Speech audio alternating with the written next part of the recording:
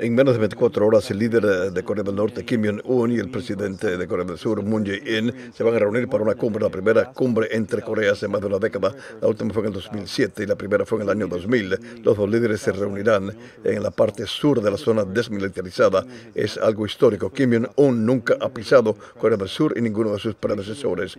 Para asegurarse que todo funcione debidamente, ambas partes han tenido mucho cuidado. Esta es una cumbre muy importante para ambos y ellos han tenido unos ensayos muy detallados en los últimos tres días. Han estado practicando todo sobre cómo los dos líderes se van a saludar, del tamaño de la mesa donde se van a reunir y han anunciado un menú muy detallado para el banquete que han de tener ellos.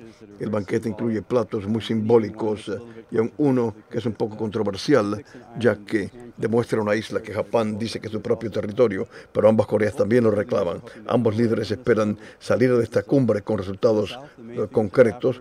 Para el sur lo que desean ellos es terminar la hostilidad de la guerra coreana y el norte espera que las sanciones sean eh, reducidas. Las sanciones en sí han impactado mucho la economía de Kim Jong-un durante el último año y le piensa volver a cambiar el enfoque a la economía. Reportando desde el sur, Corea del Sur.